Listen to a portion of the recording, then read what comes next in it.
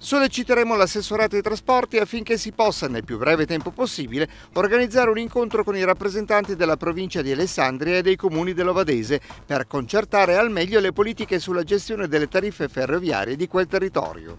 Così si è espresso il presidente del Consiglio regionale del Piemonte, Valerio Cattaneo, che con il consigliere segretario Tullio Ponso ha ricevuto il 22 maggio a Palazzo Lascaris una delegazione di sindaci e l'assessore ai trasporti della provincia di Alessandria, Giancarlo Calvino. Caldone.